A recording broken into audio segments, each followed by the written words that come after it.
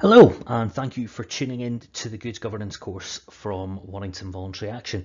My name is Bryan. I'm going to guide you through this session today. Now, if you look at the time bar at the bottom, you'll see that we've split this up into sections. So if you do need to revisit it, you can just jump to the bit that you need. This course is a condensed version of a much longer version that WVA deliver. Uh, if you want more information on that, get in touch with the WVA team and we can take it through and make it bespoke for you and the work that you do.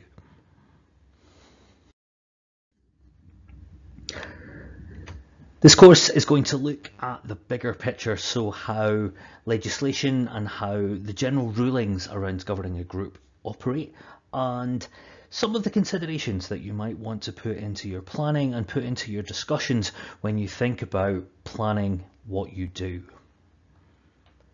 We're going to look at the groundwork, which is the basics around policies, procedures, paperwork, all that stuff that people find quite boring and quite mystifying.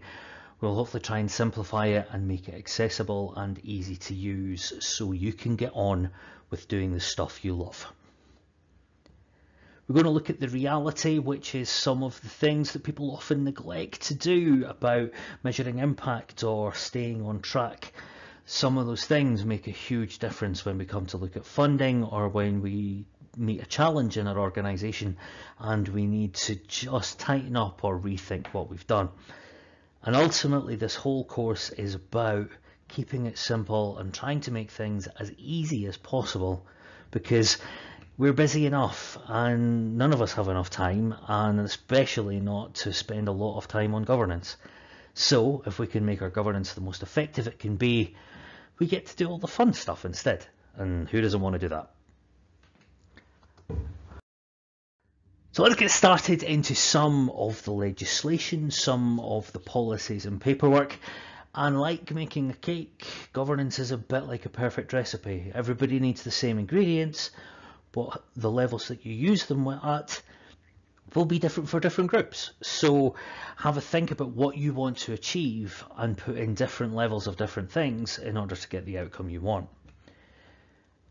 Even if you are not a registered charity, you will still work within some charity law or some guidelines. You'll be looking at the guidelines around public benefit that we'll talk about later, but also just the idea of what charitable means and the idea of how we support people to get the best out of their lives.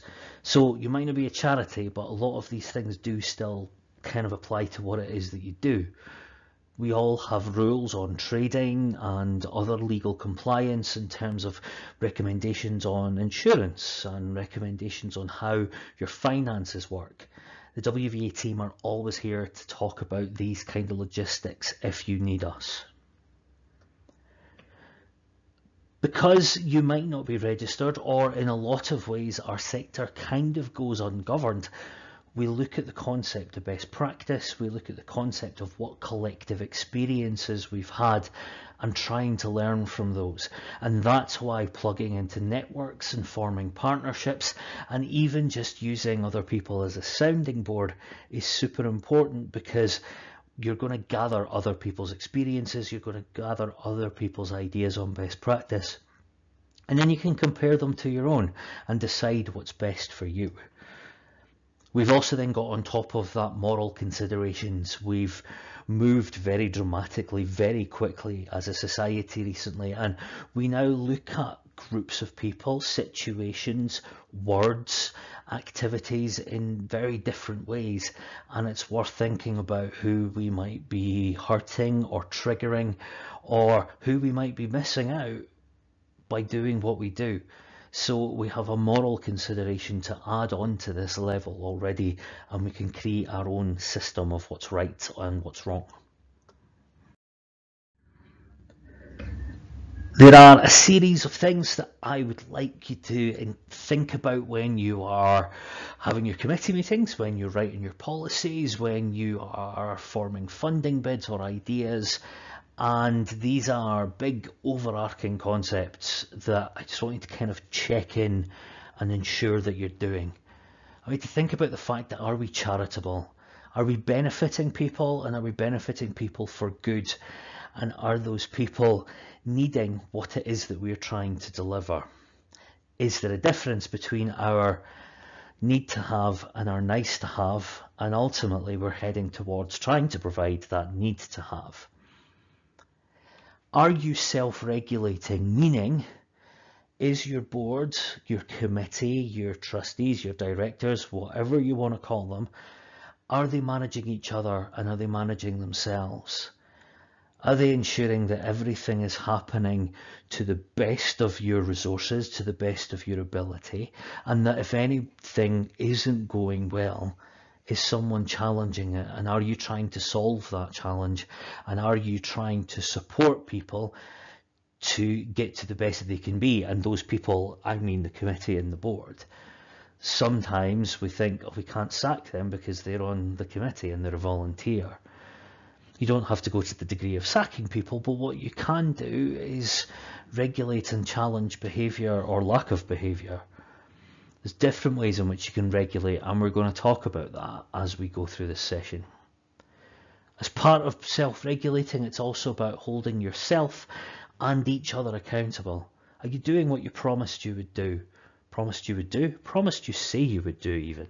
So you've made a commitment to be part of this board, this organisation, and are you actually fulfilling that? And uh, is everybody else checking up on that and making sure it's happened? That accountability goes to many, many levels. You might also be part of a bigger registered concept. So you might have a governing body if you're a sports club. You might be registered with a charity commission or Companies House. Are you doing what you need to do to fulfill that registration or that affiliation? An organisation is nothing without its mission. It needs to have a purpose, it needs to have a point. Do you know what that mission is? Does that mission still fit in today's society? Does it still fit people's needs right now? And therefore, are you focused on that mission? Do you use that mission in your meetings to remind everybody of why they're there? Do you use that mission to spark off ideas for projects and funding bids? That mission is the be all and end all of who you are and what you are, but it can change and it can evolve. It's not necessarily fixed. So it's always a time to revisit your mission. You can use the WVA Reflect tool in order to do that. So many different tools, many different ways, and indeed a good old chat with the WVA team can help you stay mission focused. You're often using public money, you're using donor money, you could be using member money. You can also be making decisions which actually have quite a big effect on the community and the people around you. And therefore, is everything you're doing transparent? Are you creating some sort of unnecessary liability for yourself by keeping things a secret? you might not think that it's anybody's business, but because you're doing things for the public, suddenly it's public business. So therefore, are you transparent with your decisions and your actions? And we're going to talk about how to record those later. And lastly, are you consistent? Do you have create rules and follow them and have the same rules for everybody? You'll have a system, you should have a process, you should have policies. Does everybody get the same experience? Does everybody get the same journey? Do they know what they're going to come to when they come to your service? Do you make decisions in the same way? Does everybody within your leadership team follow the same rules? This is important for so many ways. Firstly, it means that your service is strong and remains something that people can recognise and want to be part of. It means that funders know that if they're going to invest money in you, that the outcome is going to happen. It also means that your consistency will keep check on situations like safeguarding concerns or any concern that somebody might have about your work with a, a diverse community or uh, in a dealing with a challenging situation. That consistency is important in running through with a system and a process. But we're going to talk about that as we expand further into the course.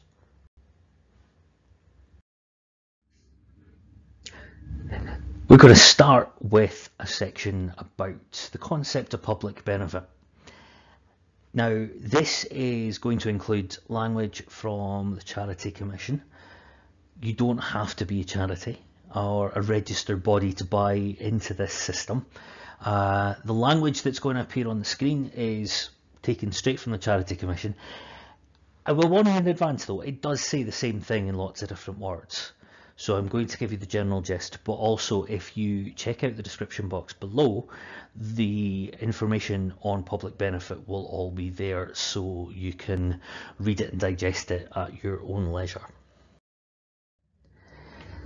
So it seems really obvious to say, but the public benefit concept is about benefiting the public it feels glaringly obvious, but it's kind of worth saying it out loud. So the benefit part is about doing more good than harm. So essentially, whatever it is that you're doing is helping people reach their potential, fulfilling any needs they might have, reducing any distress or challenges they might be living with in their lives.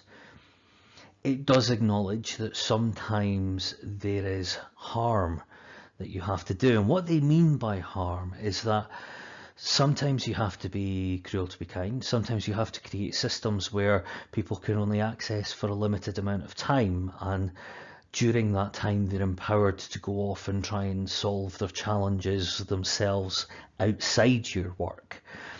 Sometimes that harm is that no, this isn't the organisation for you and we will signpost you to somebody who's more suited. And it could well be that that feels like a, a, big setback to them or a challenge that nobody wants to work with them. But it's it's how you do that that is the mark of a strong organisation rather than you trying to be all things to all people because that's pretty much impossible. The public element of it is about as many people as you can. Now, this doesn't mean everybody. And I'm going to say that twice because it doesn't mean everybody because we can't work with everybody. No matter how many groups will say, oh yeah, you know, we will help anybody. Actually, you're set up to work with a specific group of people. Acknowledging who that group of people is and promoting who that group of people is has so many wider benefits in that you can target and focus your funding, you can target and focus your work, you can see how you slot into the bigger picture, which is Warrington's quite diverse community and voluntary sector. So understanding who your version of public is is a really important thing because how do you know you're helping them if them is a massive group of people? So what you're doing is you're trying to benefit the public in general. You're not being so, so niche that you're isolating a whole vast section of the public. So I usually use the example, and I'll use it here as well, that an organisation for ginger guys called Graham doesn't always work because actually there's not enough of them to qualify to have an organisation. They might want to be a social group or a little gang or a squad or whatever, and that's fine. But to set it up as an organisation, there simply aren't enough people to meet that need if you wanted to do people with red hair or people with, I don't know, any difference, any need or challenge, then think about how broad that is, how many people that covers. Do they exist locally? Do they exist in your community? And if they do, do they need an organisation to create a service for them? Is their challenge something that they want to access a service about? Ultimately it's about the biggest group of people you possibly can. And that group of people has to be local has to be somebody that needs it. And what you're doing has to have more than what they call incidental personal benefit. And we're going to break that down. So as a committee member as a board member trustee whatever you want to call it however you deem your board in your organisation, you have a responsibility and you have a responsibility to make sure that public benefit happens. You have a duty of care. And this means a few things. This is about understanding how what you do is beneficial, what the outcomes are, what the impact is, and we're going to come to impact measurement later, but don't forget, WV can help you with that. It's knowing who the people are that you benefit. I would argue they should be the other way around, but that's how the Charity Commission write it. Knowing who your audience is, knowing who your market is, and knowing the challenges that they have mean that you can set up systems and services that serve them the best they can be served and help them reach their potential and where they want to be. Understanding that within that service there will be risk there could be harm that people come to and how you manage that and reduce the likelihood of risk as much as you possibly can. It would also take into account how people can get involved in your service. Is it service people have to pay for? If they are getting it for free, where is the perceived value in it? How do they access that in a way which keeps you sustainable, but also keeps them engaged? it's thinking about where you deliver that service. Are you delivering it someplace that people can't get to? Or is it someplace that's on a really accessible travel route for public transport? Or is there a car park? Is it someplace that people with living aids um, who have physical disabilities who, in whatever form can they get in? Once they're in, can they navigate their way around the space? Do you need a hearing loop? Is the building big and echoey and uh, really wide and quite intimidating, or is it very small and claustrophobic? Who, what suits, sorry, the people that you're working with better? Equally, do you have any personal benefit that people kind of get out of it? Which is kind of a, a, product of what it is that you're doing. Um, so what they say is no more than a necessary result. So this is ultimately, are people getting out of it what you are intending for them to get out of it? Anything else is a happy addition. It's not a promise that you're making. Equally, somebody isn't walking away potentially financially better off. People aren't walking away getting a whole bunch of services for free that either should be paid for in another capacity or is duplicating a paid service elsewhere. Um, there's a lot of nuances to that. Some groups really struggle with that issue, and absolutely that's something that we WVA can support you with. It's also about protecting your liability as a committee member or a, a, trustee or director. You have way more protection when you're a registered organisation. If you are a constituted group or a community group, the liability very much falls on the committee and their own lives and resources. And most often it's the chair that takes the final rap for whatever it is that may or may not go wrong. So it's the thought of are you doing the best you can with the information and the resources and the skills that you have and are you recording that? Most liability cases that come uh, to the point of prosecution or the point of somebody having to um, pay back monies etc come from poor recording from a lack of clear, clear decision and from a, a real just lack of process and regard. So ultimately, do you have everything in place to protect yourselves from anything that might happen to go awry? So, to kind of summarize all of this, it's making sure that it fits your purpose, fits your mission, it's for the benefit of the public as a whole, it's about fitting all of the guidance and good practice and it fits in with you making a clear decision which is the best you can with the knowledge, resources and skills that you have. When you break it down it sounds really simple but actually doing it in real life isn't particularly. So the rest of this is all about how do we actually make that happen? I'm going to take you now through a consideration about how the board is made up and how how a committee can be structured and there's kind of two different ways. There's a, a traditional model, which there's technically nothing wrong with, and there's a slightly more contemporary model, which is based on best practice. So, this um, gavel is to symbolise the chair. Now, in most situations, the chair is kind of the centre of the universe, and they work with a a posse or a holy trinity of the chair, the secretary and the treasurer. And these three posts tend to be your executive committee and they tend to be the people where the buck stops and all roads lead to. What roads could lead to them are your governing body, talking back and forward to either the Charity Commission or your NGB or um, whoever might be commissioning you. So again, works with things like funders, service users. There's a lot of information and language going back and forward to different groups of people. So your funders and your service users will theoretically be speaking back and forward to that exec. The rest of the committee then feed off of that.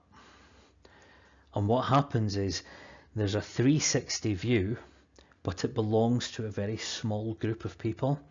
So your 360 view often exists within your chair, or it will exist within your chair, your secretary, and your treasurer. And usually everybody else is a little bit kind of in the dark or a little bit baffled because not everybody's allowed in. And especially there are times when the chair, secretary and treasurer will make decisions and not bother telling everybody else. Now if we go back to the concept of public benefit and we think about liability, that's when suddenly you start to put yourself on a bit shaky ground because if you start making decisions that not everybody knows about or you start just going off rogue and acting on things, you don't have the protection of the rest of the organisation. So some a lot of this is also about protecting you as well as getting work moving quickly. So yep, there is a 360, but traditionally it belonged to the chair, and that can be a really challenging and lonely place. And remember, WV is always here for you, chairs, if you want to speak to us. But it can be a place where you feel like you're doing everything and nobody's helping you have a think about how you can create stronger systems and more effective systems to get everybody involved. Because if we think about a slightly more contemporary model, what we have is all of the board no longer in a hierarchical pyramid, but what we have is the board all on a line and give the board different responsibilities. You could have a rolling chair. You don't necessarily, unless for whatever structural reason you need to have a chair, but you don't need to have a fixed one. As long as somebody chairs the meeting, it doesn't have to be the same person every time. So you could have somebody that's in charge of your service delivery, you could somebody that's in charge of marketing and PR, somebody that does your funding, somebody that keeps all the minutes and does the paperwork. You can kind of split the roles along your committee. What that does is it means that there is many more two-way conversations. So your service users, as symbolised by this heart, have ways in which they can get information, but ways in which they can give information. And uh, it's, it's, sometimes even more effective if you can have a specific person that's designed to liaise with your service users and your people because then everybody knows where all roads lead to if a service user needs to talk to the board. You can have somebody who talks directly up to your NGB or charity commission, etc. Whoever's created that funding bid or that project becomes the lead for that specific piece of work. It means that now we're not just dumping everything on one person it means that you can have somebody going off making partnerships or representing the organisation at meetings or other wider strategic boards across the town. It also means that you can have access to volunteers, staff, etc., and the information comes straight to you as a board, as opposed to you sort of guessing what goes on down on the ground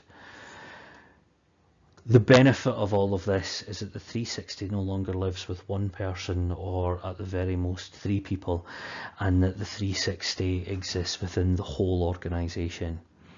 Everybody has somebody they can contact, everybody has somebody that they can connect to and get support from.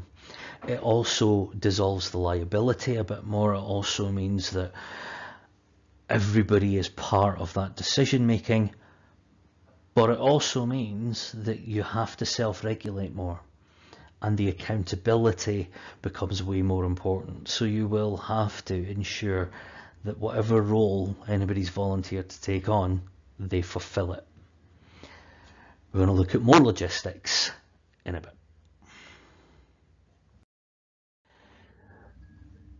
Let us move on now to a section about paperwork and how you can document the journey, but also how you can make things as easy for yourself by having the right papers in front of you. This is a big part of our Reflect tool as well, so if you need support on that, hit up the WVA Reflect and we will support you through that journey.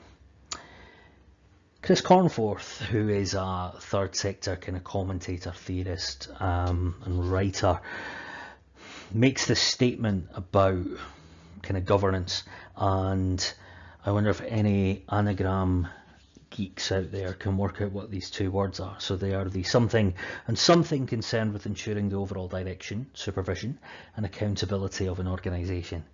I'm going to put you out your misery because it's system and process. Ultimately, everything we're about to talk about from now on is about that, the systems and the processes. That can involve your paperwork, your protocols, the things that you just do on a on a daily basis, on an hourly basis, and how they fit into something bigger that makes the really effective machine that is your organisation. So let's have a look at governing document first of all.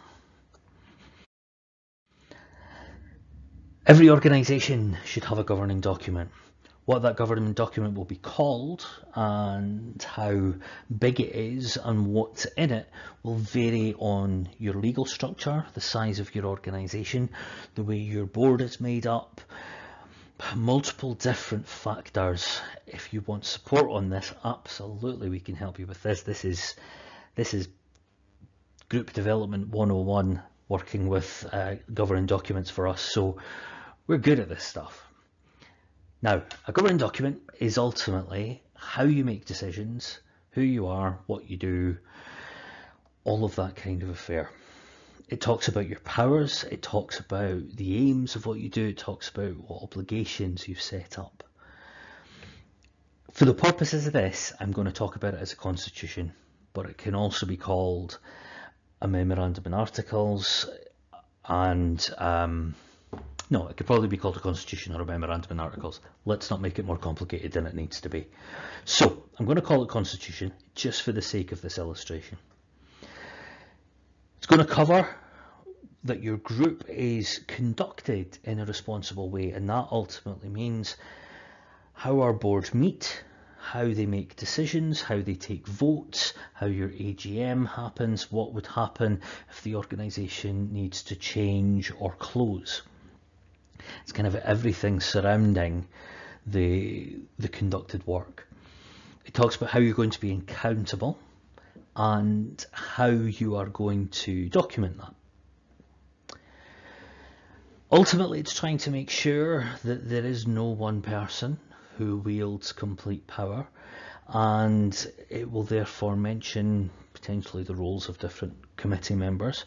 It will also mention how as I said before, how decisions are met and made and pulls together essentially to the outside world and I suppose internally because hopefully it's a working document how we do what we do and proves to everybody that what you do is good and that you do it well. So a lot of funders will look to see your governing document.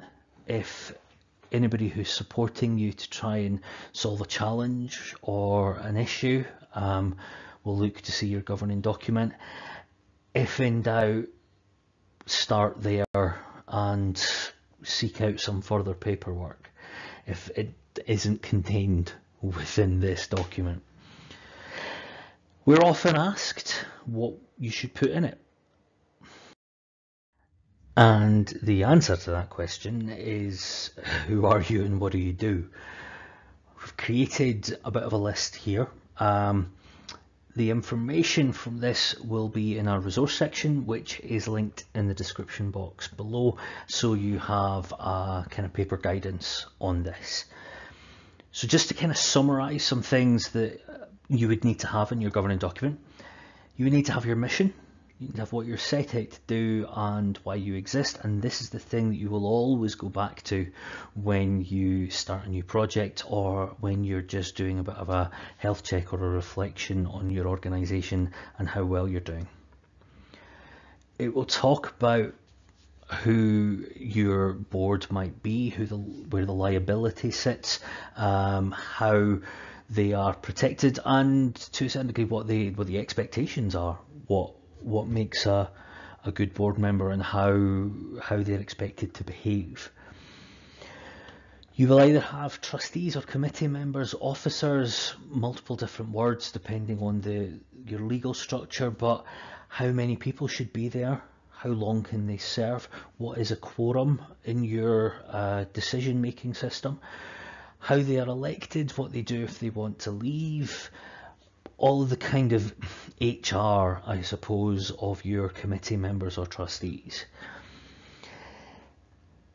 You might want to talk about your fundraising powers. You're probably likely to have a, a, separate finance policy, but there'll be a kind of summary of it within your constitution. If you're a very small group, you might just have all of your finance information in your constitution, but some nod to how you manage money will go into this.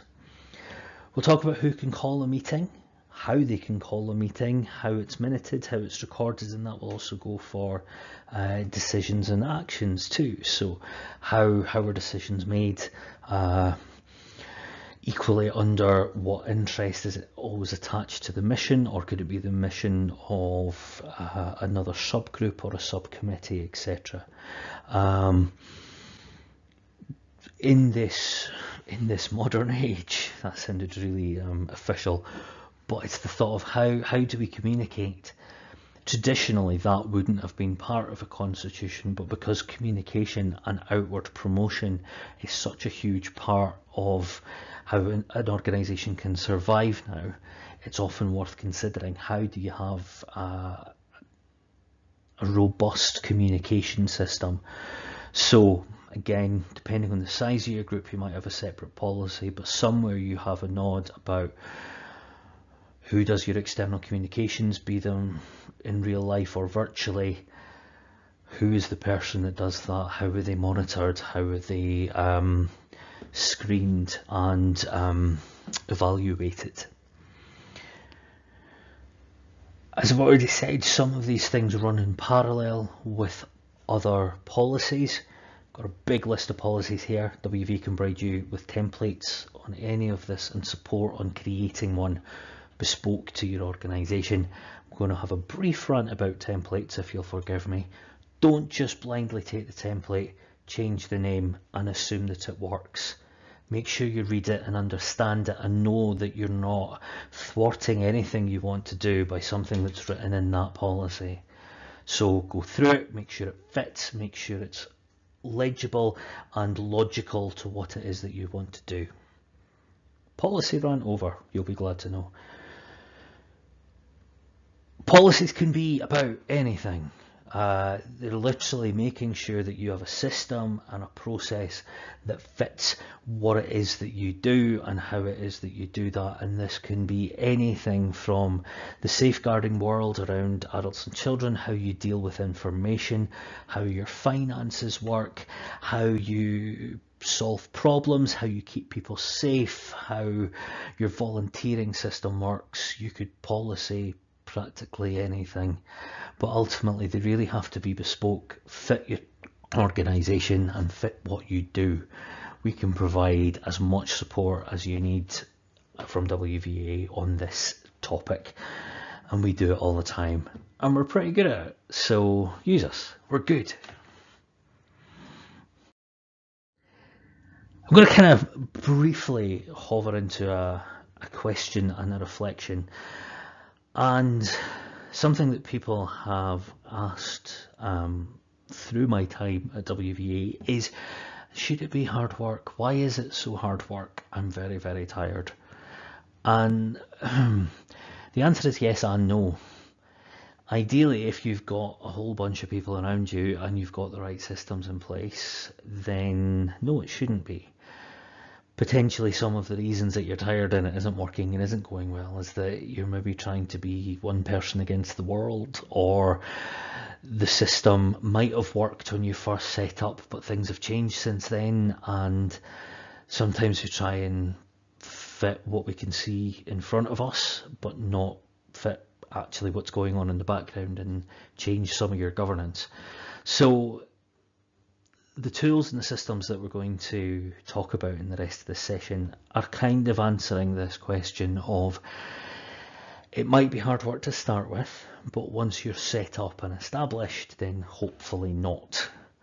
But it does take a bit of work to start, and the WVA Reflect tool, as I've mentioned before, is a brilliant place to go through and work out where you're at with your governance and where you might just need to make some tweaks or make some additions or make some cuts and make it yours that you can own and that you can be proud of and do the work you need to do with as hopefully little hassle as possible. Two different ways of doing this is about the recording that you do and the ways in which you document decisions and actions a, a good practice or a kind of contemporary good practice certainly is the concept of decision logs and action logs. Now these are tables that are kind of ongoing working documents.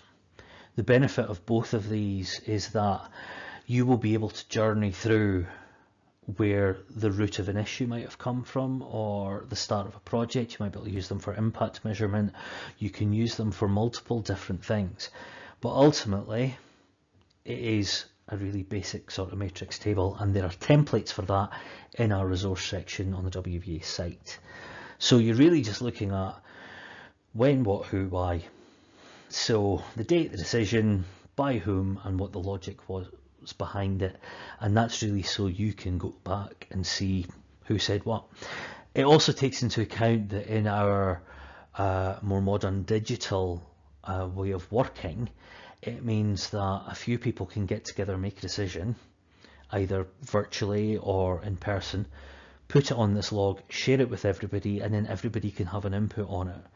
So there might be decision which is a sort of penciled in decision or a preliminary decision which is then verified by everybody else but it might be altered by the time other voices are involved so it's an ongoing working thing. Now, when you do record that, keep the preliminary version and then add on the official one too, because it really shows the journey, protects your liability, also just works for you to be able to reflect on your last year and be able to see kind of what's the bits we do well or actually where did it go wrong it went wrong between that decision and that decision so it's it's useful as a as a diary almost. So as an example, here is a random date in 2021. We decided that we were going to make changes to our system. Members of our team, Alison, James and Helen, decided this, but the logic behind it was it would have greater accuracy and an actual true reflection of our service if we made some tweaks to the reporting element of it. And it's really just to say it was from this point onwards in a fictitious decision that was made in a fictitious September 2021, but ultimately we could trace back and see where that came from. We can also, somewhere in a fictitious October, restructure a funding course, which was decided by Caitlin and myself. And we did that because We know that people can no longer access full days for multiple different reasons, so we were going to do it in chunks instead because it fitted the way people work better. All of those things are so we can look back and go, when did that happen or why did that happen?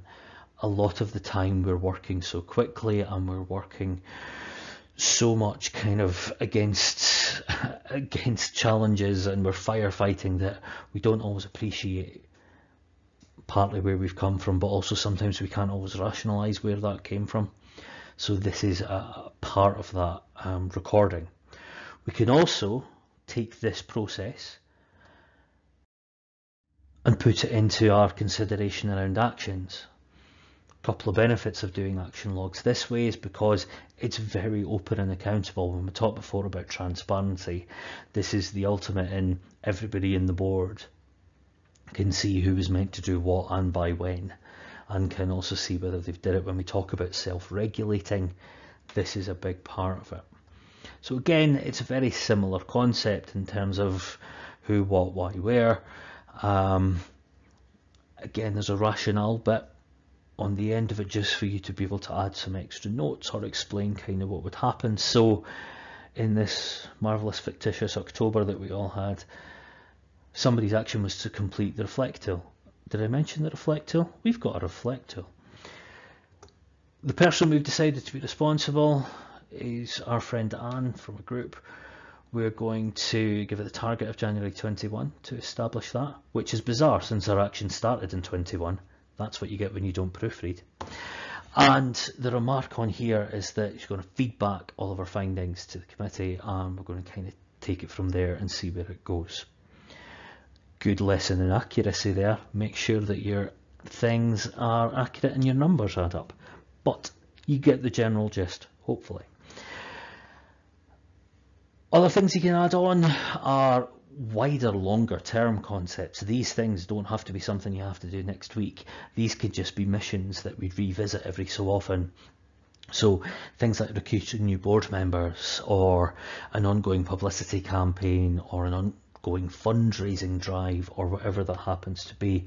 And you can all be responsible for some of these things. You can have whole groups of people or you could have individuals. You can also involve other agencies. So it could be that you add in the sort of partner expectations that you have if you're working with another group. Um, so these are flexible documents. They're very, very fluid. They can be adapted all the time, but don't ultimately don't try and delete things. Add things in, cross-reference, because ultimately the more information you can put out there, the more you are protected for your liability, because everything is laid bare for you to see. So that's decision logs and action logs. There are templates for those in the resource library, and if you've got any questions, give us a holler and we'll help you.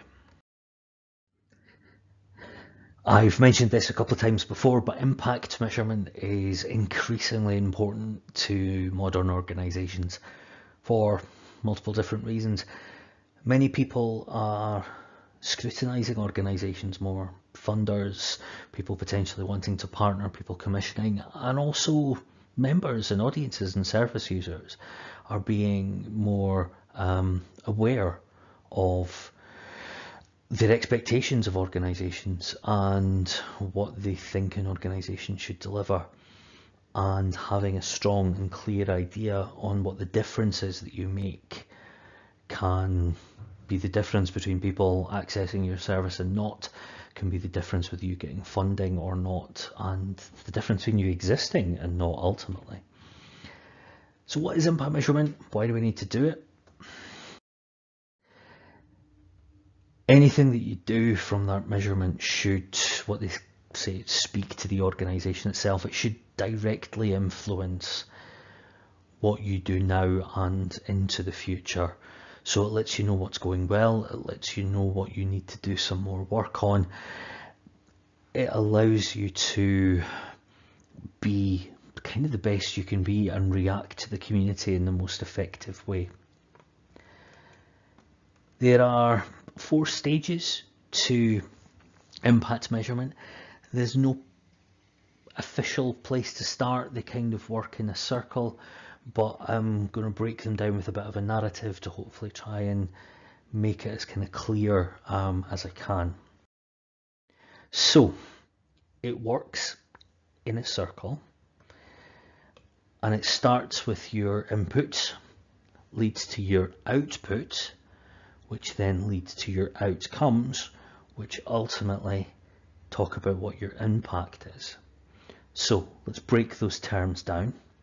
So your inputs are the things that you have. It's usually stuff. So it will be resources, um, the building that you're in, the people that you have that are receiving the service as well as the people providing it. It's all the kind of physical tools that work together. The outputs are the more abstract things, the idea behind it, the concept of the activity, the things that you do, the processes about it. So the processes about screening or the information that you're giving, etc. So that's kind of the abstract element. So inputs and outputs are the hard physical stuff and then the abstract stuff that you do alongside it. The outcomes are the learning. What have we achieved from this? So do we need to change what we've done? Do we need to rethink that, do it at a different time, do it with more people, less people, different kind of people? Um, or actually, did it work really, really well and we, we don't need to change a thing? The impact is then looking at all of those things together and working out what the difference is that it's made. So that's things like what we call social value, going back to the concept of public benefit, have have people's lives been kind of changed or benefited for good? Does it have a longer term concept and effect on people? Have they been given skills or acquired skills that allow them to go off and do what they want to do themselves or couldn't do before? Are they empowered to go off and ask for support from healthcare providers or fill out a form or um, just be a little bit more confident to kind of get the best they can out of their life? So physical elements and abstract elements go together to allow a, an analysis of did that really go well and if it did go well or if it didn't go well, what are the differences it made? And those things loop. Now you can drop into this discussion at any point in time. So you might have been delivering for a while and actually you maybe need to start at outcomes and look at, you know, is it all working? Does it make sense? Or you might understand that what the inputs are, but need to spend a little bit more time on what some of the abstract outputs might be. Another way of looking at this is that it can absolutely work in a cycle and we have what's called the cycle of impact. There will be information about this in our resource section. But ultimately, the planning element of it, which is kind of starting to build the the input, is decide ultimately what you want to do, what the point of your activity is. Are you trying to um, reduce anxiety? you're trying to build confidence? Are you trying to reduce the stress of food poverty? Are you trying to create more healthy lives for people? Whatever your mission is, think about what the ultimate end goal happens to be. And think about it that it doesn't have to be huge. It doesn't have to be massively life changing. Try and keep it as achievable as you possibly can. Once you've worked out what you ultimately want to do, you're going to think about how you're going to measure this. Because we deal in such abstract concepts as a sector, sometimes we might have to think about the benchmarking that we need to do in advance when we first meet people. Do we need to ask them about their confidence level or their skill level or how empowered they feel right now? Because we're then going to ask them to regrade themselves once they've come out the other end of your service. So part of that planning is what do I want to do and how am I going to make sure it's happened? How am I going to count it? We then get to the kind of the output input bit where we actually do the thing. So deliver the work, use all the physical stuff, use all the abstract stuff, and then as you're doing it, collect all the information you need It's a total top tip to collect it as you go because the chances of anybody remembering what they were doing six weeks ago is slim to none. So do it as you go and that's that's why everything fits under do. It's about making everything happen in one go. Once that round has happened, once that service has happened, once the summer is over, whatever it is that you've kind of finished this time with this group of people, we're going to look at the assessment stage. Now, the assessment stage is taking all the information you've got and trying to draw some sort of sense out of it, trying to find a commonality, trying to find the um, impact that was there. So looking at the benchmark that you got before and after, looking at the, the feedback that you got, um, looking at your own kind of reflections and um, conversations that you've had amongst your team and then start to compare some of those findings with either previous work or if this is the first time you've did it, this is a real benchmark that you've set, which you are then going to review. Use these findings to inform your next planning. Use these findings to tell people about it. That's, that's the time when you shout about what you're doing or what you've done. It's not necessarily at the start because actually at the start you might be recruiting, which is fine. You can absolutely promote that, but a lot of groups forget to promote themselves at that review stage. You're kind of as good as the impact that you're making, so ultimately that's the time to start shouting, saying all the good stuff that you do. So it works in a cycle, and we're ultimately doing plan, do, assess, review. It kind of rhymes, it was my attempt that it would rhyme and it becomes a excellent repetitive chant. So say it with me. Plan, do, assess, review. Plan, put everything in place, make it happen, then evaluate it, and then look at the whole process and use those findings to influence the next time you plan. Remember what happened the last time, we're going to change this or we're going to add that in or wouldn't it be great if because remember when we did it the last time, etc., etc. So plan, do, assess, review, and ultimately means your impact will be measured very timely, it will be effective and honest, and it will really heavily reflect exactly what it is that you you are doing and have done, and it means that you can really demonstrate your success in a in a strong way. One thing that thwarts um, impact measurement and indeed organisations in general is this concept and it's called mission drift. You might have heard of mission drift kind of from a business perspective and it's something that is uh, sometimes mentioned on The Apprentice in terms of you went entirely off mission or you went entirely off brief. Mission drift is about staying on target and staying on the promise that you made to yourselves and the community. So mission drift is, it comes in a couple of different forms. Mission drift itself is about going away from your original object or your original promise. So if your original promise was to um, support people through food poverty and you go down a whole route about um, hairdressing. Kind of irrelevant, sort of connected because self esteem and stuff, and often you can see how organisations get to the drift. You can absolutely see how the group of people that they originally support could kind of ask for that other thing.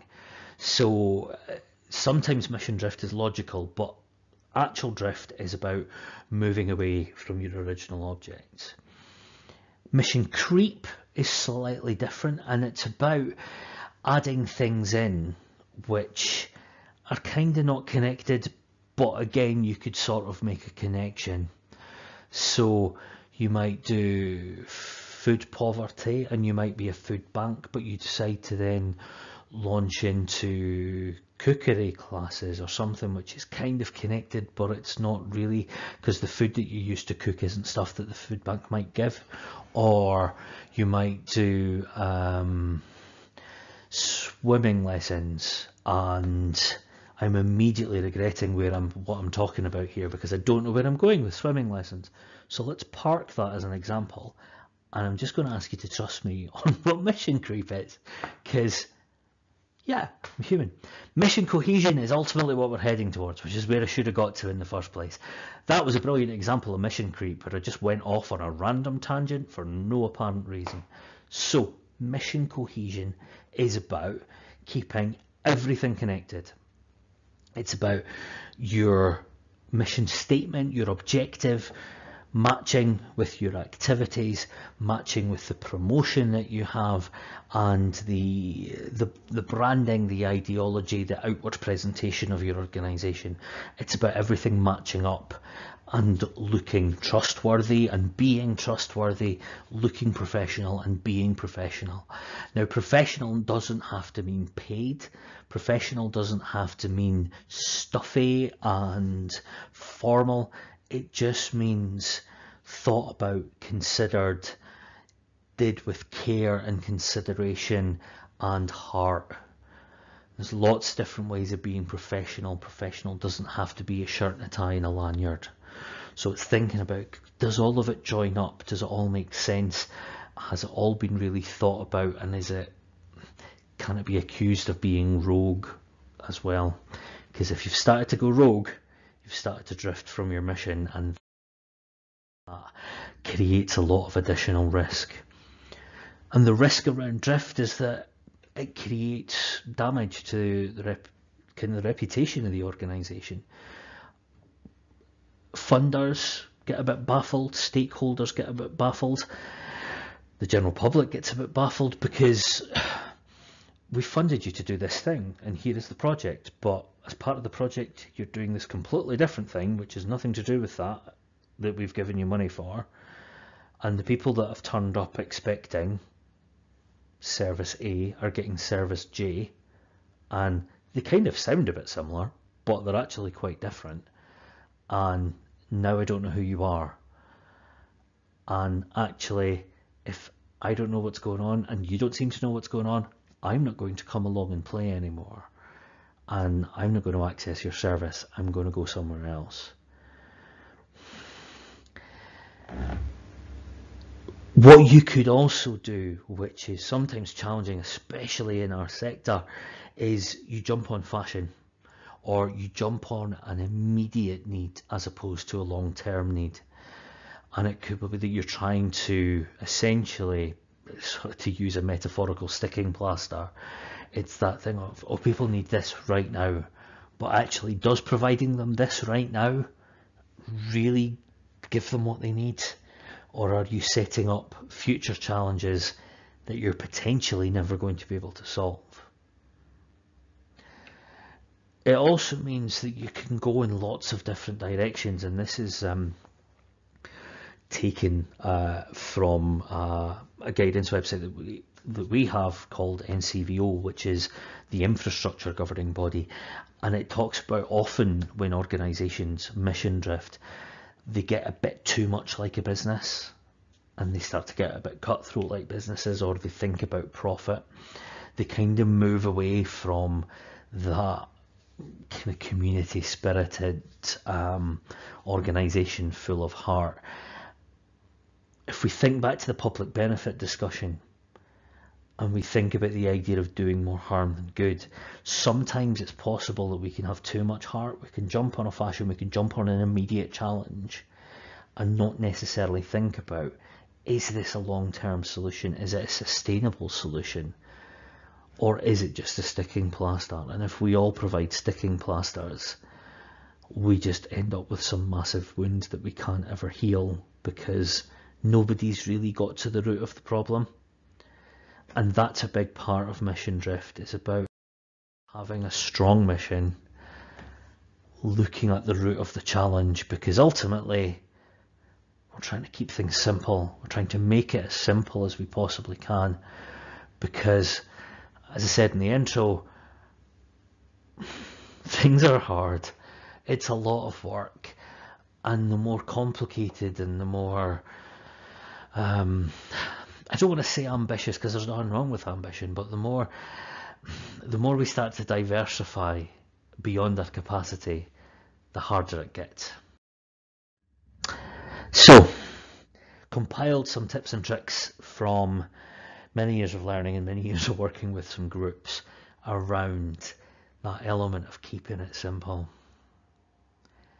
Did you know you can make electronic decisions? We talk about decision logs and action logs, they don't have to be paper. They could be on shared drives and again WVA can support you in setting up those kind of systems. But the speed that you can work with an electronic decision um, and get your organization moving is is vast. As long as you've got that recorded, you're absolutely valid to make electronic decisions. Just make sure it's in your governing document. If you can, keep a routine, keep a system. And if you can't, stop and ask yourself why you can't. Keep a fixed time for meetings, keep a fixed time for evaluating. Put in your diary the review of policies. Ideally, this should be annually, but you could probably get away with it every 18 months if nothing really changes. But make sure you do it. So many people that say, oh, I can't come to this because I don't have time, I can't have this. What is it that is taking up your time? Think about keeping that routine, think about trying to simplify things. We meet a lot of people who are really on the edge of giving everything up because whatever cause that they're working for, whatever group that they're supporting, whatever group that they're running is taking up all their life and they're struggling to have a social life or their families are getting more and more annoyed at them because they're always out with those people rather than spending time with them. And it's about having that group life balance I said earlier, you can't change the world, and I, I, I mean it. You you can't. Um, think about whatever you're doing as being realistic and being achievable, and don't set yourself mammoth tasks that you're never going to achieve because all you're going to do is beat yourself up. So think about creating and maintaining a group life balance, and that you need time to recharge and you need time to refresh, and if you don't give yourself those times, what use are you going to be? And I am going to use RuPaul logic here of if you can't love yourself, how are you going to love anybody else? You need to be fitting well for everybody around you, but most importantly, yourself. And if you burn out trying to help, you're not going to help anyone. Keeping it real is a big part of that and it's about being honest with you and everybody around you as to what what we can achieve and what we can do and what we do well. Um, just because there's a need doesn't mean you have to try and fulfill it. Stick with the thing you're good at. Stick with the thing you know. And if you don't know, ask and try and learn. And if it doesn't make sense to you or you're not able to do it, don't pretend that you can because in the longer term that's only going to create more problems for you to solve or more problems for somebody else to solve. And even though we are our own individual organisations we are working towards one big collective cause. Asking for help is not in any way a shameful thing. It's much more a sign of strength than it is a sign of weakness. So find who you can drop an email to or pick up the phone to or have periodic catch ups with. Find your support network, find like minded people who understand the challenges that you might be having if you're a chair or a secretary or a volunteer manager or a person running a service or whatever that might be. Find those people that can help you out seek that support and provide that support too. As much as it's great to seek that support and get that support from other people, it's also good to give it. And hopefully, in your group life balance, you can find a way of helping other groups as well as other groups helping you. Use as much tech if you can. It's a massive resource, especially around keeping your documents, updating your documents, your minutes, etc., your communication, um, even just new and diverse ways of keeping in touch with people. We could absolutely argue that beyond, well, the time of recording this is 2021, beyond the pandemic, the coronavirus pandemic, we never thought we would deliver groups by sitting at a screen. We've moved on so far but also how we balance those things. Technology is great, but it's not the be all and end all. Use it if you can, use it if people that you're working with can do, but also remember how you juggle those two things together and create that blended approach.